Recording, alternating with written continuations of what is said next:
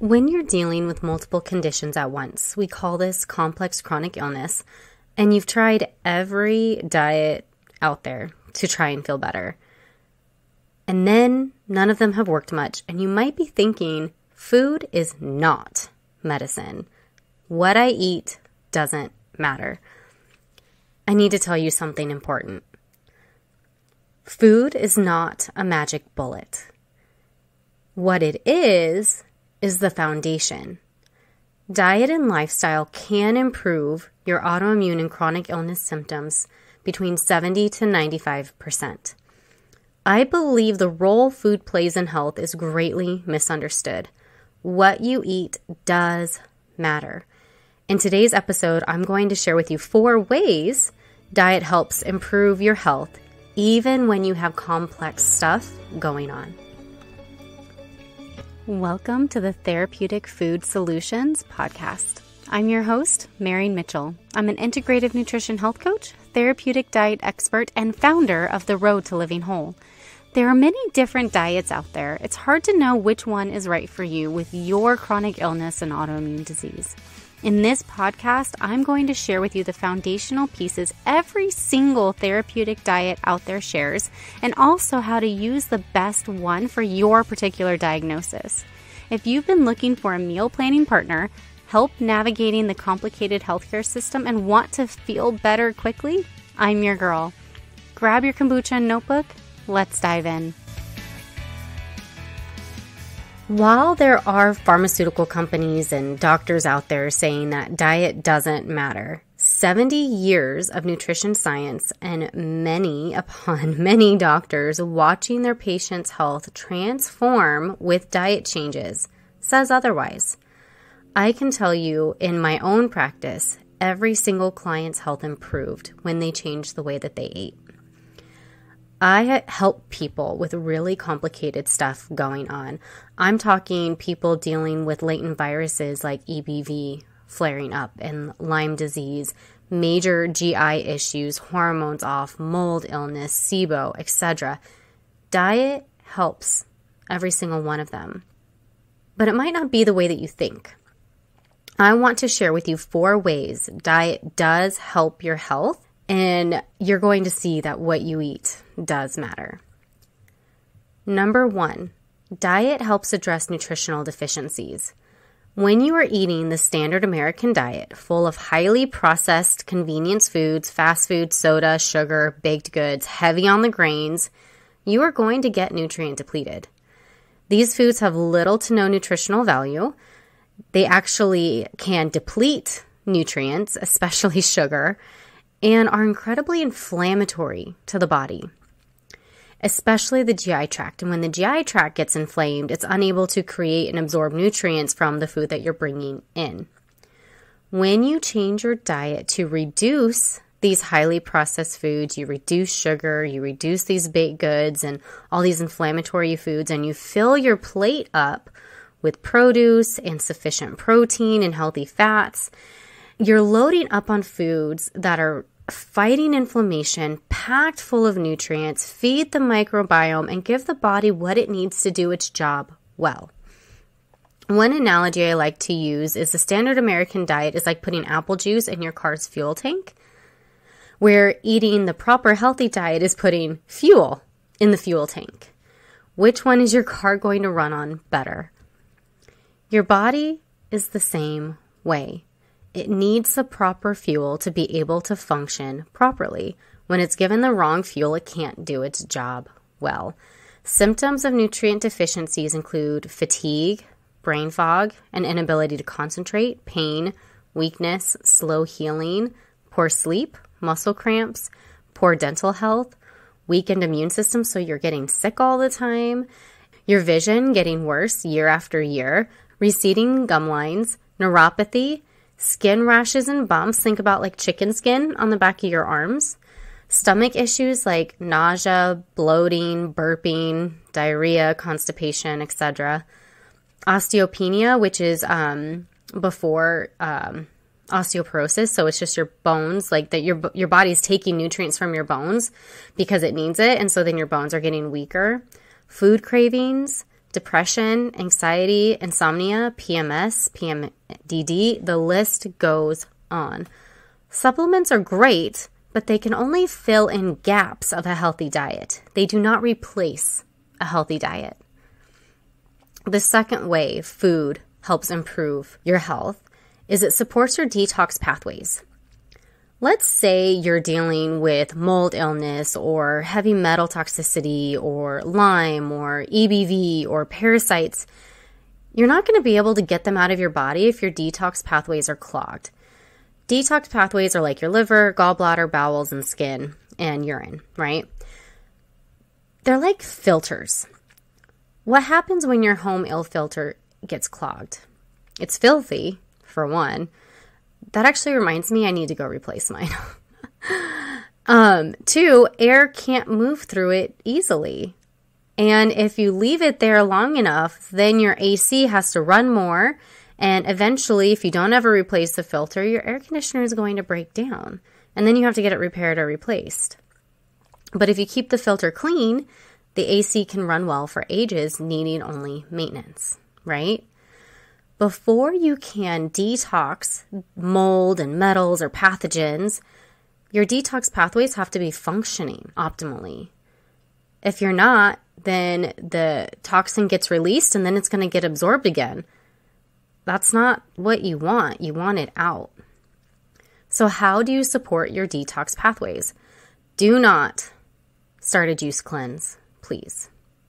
First, you need to give it nutrients that it needs for all three phases of detox, and you do that with a healthy diet. Second, you need to get the toxins that your body's already dealing with from used up hormones and cells and environmental stuff you're getting exposed to. Like, you have to get them out daily. That means you need to be having bowel movements daily. That means you need to be drinking water and going to the bathroom regularly. Going pee a couple times a day because you don't like going to the bathroom all the time is not helping your cause. Okay? And then third, you need to reduce the number of toxins coming in. I give you strategies on how to do that over in episode 36, so I'm not going to dive into that in this episode. The third way food can help improve your autoimmune and chronic illness symptoms is it can reduce inflammation. Highly processed, chemical and sugar laden, nutrient depleted foods are inflammatory to the body. These food like products are not actually food. For millions of years, we've lived off of foods from the earth, not factories. Seed oils contain an unnaturally high amount of omega 6 fatty acids, which are pro inflammatory to the body when they're not in the correct ratio with omega 3s. Sugar suppresses our immune system, promotes inflammation, and literally pulls nutrients like magnesium out of our bodies. Not getting enough nutrients is also inflammatory to the body. Highly processed foods also lack the food our healthy bacteria need in our gut while it actually feeds the unhealthy bacteria in our gut. We have a balance of like helpful and harmful bacteria, right? And so if you're not feeding the helpful bacteria, you're feeding the harmful bacteria, right? This can lead to dysbiosis and leaky gut. Leaky gut is the root of many ailments and can trigger autoimmune disease, histamine intolerance, and other conditions. When you eat well, you will reduce inflammation, especially in the gut, and this is an essential step in the healing process to get and stay healthy. And the fourth way diet can help improve symptoms and your health in general is it reduces incoming pathogens during the healing process. So, suppose you're dealing with histamine buildup in the body. This is named histamine intolerance or maybe mold toxicity, right? The proper diet can reduce dietary sources of histamine or mold while nourishing the body with vital nutrients for the detox process and healing. This will help you feel better more quickly and get the healing process going. Another example is reducing glyphosate in your diet. Glyphosate reduces our microbiome as the bacteria in our gut is similar to that in the soil that it's killing. Glyphosate also inhibits the body's ability to absorb nutrients. It's been linked to promoting cancer and also disrupting our endocrine system, which is our hormones. By reducing glyphosate exposure, you are going to be much better off health wise no matter what.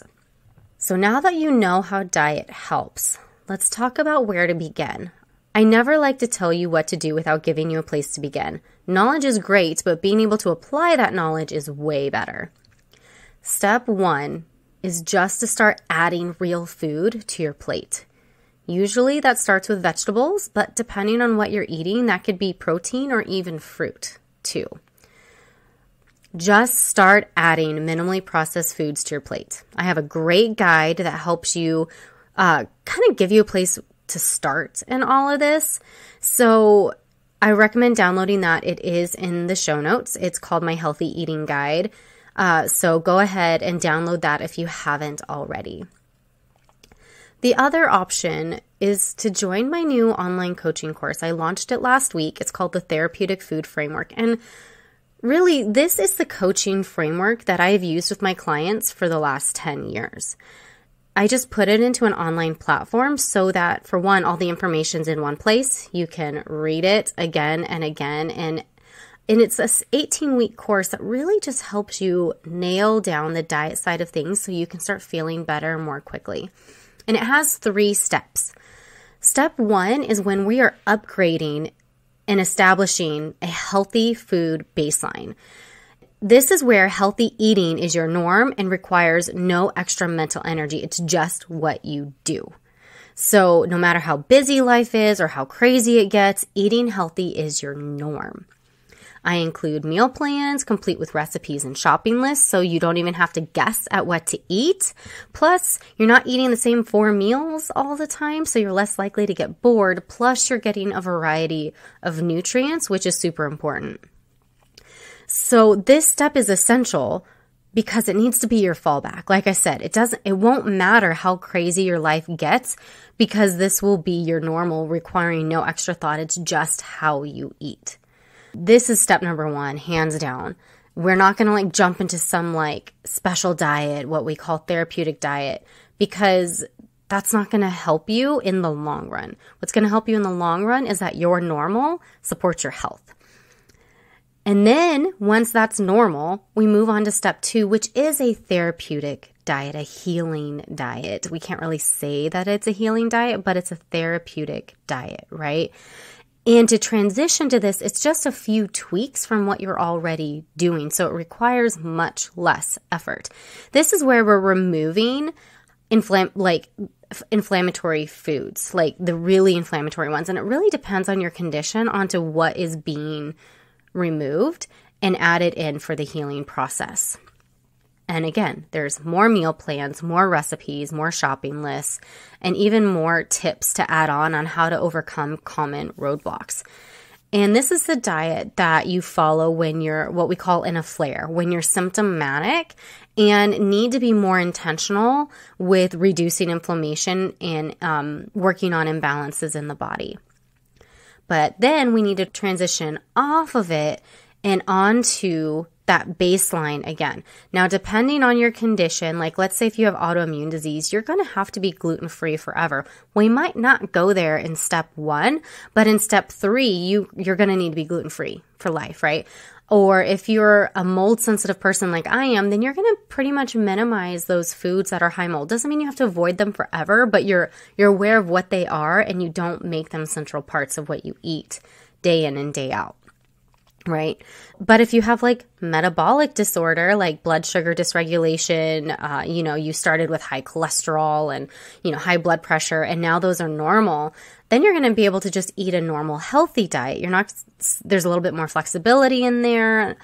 So it just really depends on what you have going on but you still never stay on that kind of strict diet that's, you know, eliminating these super inflammatory foods because they're not going to be super inflammatory forever, right? It's an online program. It still includes a coaching session. It still includes unlimited email support, but it also includes an online student community. And I'll be doing live Q&A sessions in there twice a month for you to be able to ask questions. It's kind of like group coaching. So you get the one on one where it's all about you. You can really, you know, your roadblocks, your things, but then you also can get those little questions answered like, hey, can I have carob instead of cocoa or things like that, right?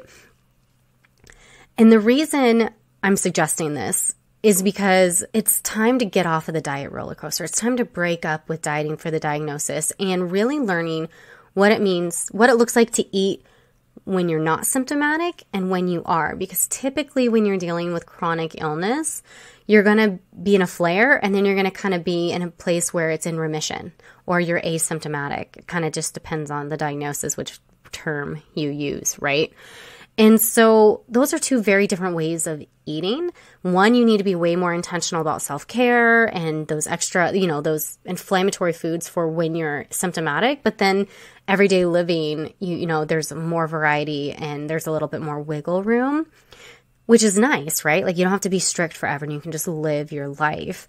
But healthy is still the baseline because that's what's going to prevent the flares. And when they do come, they're going to be less severe and short lived. And that is the goal. And I just launched it. I'm super excited about it. The link to learn more is roadtolivingwhole.com backslash therapeutic food framework. I will also have that linked in the show notes and you can click there. So, quick note when you have complex stuff going on, food is the foundation. It isn't a replacement for other therapies, but when food is right, all those extra therapies will work more effectively and faster. You're also probably going to need less of them and a less aggressive treatment, which saves you money and it can prevent a healing crisis. So it's a win win all around. Food is a foundation, but when you have a lot of stuff going on, it's not going to be the only treatment. So I really want to make sure we stress that, okay? Quick review before we end this episode food absolutely matters and it can improve your symptoms anywhere from 70 to 95%. And it does this by addressing nutrient deficiencies, supporting your detox pathways, reducing inflammation, and reducing offending pathogens. The therapeutic food framework gives you the how to so that you can get the benefit from food, plus all the lifestyle tips on how to make it work in your life that are missing from a lot of other programs, like how to dine out, how to travel, how to party, how to talk to foods and or to foods to friends and family you know, and then also lifestyle strategies, stress management, sleep hygiene, you know, and reducing environmental toxins. But you're not going to do that all at once. It's step by step, and I guide you through it every step of the way. It also helps you differentiate between how to eat for everyday life and for when you're in a flare. And I think that's super important because they are different. Thank you so much for hanging out with me today.